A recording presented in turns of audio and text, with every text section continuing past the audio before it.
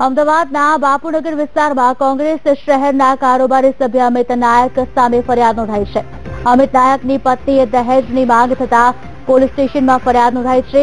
દહેજમાં પચાસ લાખ અને કારની માંગ થતા પત્નીએ પતિ, સાસુ, સસરા અને પરિવાર સામે ફરિયાદ નોંધાઈ છે. અમિત નાયક અને તેના માતા પિતા વિરુદ્ધ ફરિયાદ દાખલ કરવામાં આવી છે. શહેર કોંગ્રેસ કારોબારી સભ્ય સામે ફરિયાદ દાખલ કરવામાં આવી છે. આજ અંગે વિગત આપશે અમારા સંવાદદાતા નિધિ, ફોન લાઈન પર જોડાયા છે. નિધિ, શું વિગતો પ્રાપ્ત થઈ રહી છે?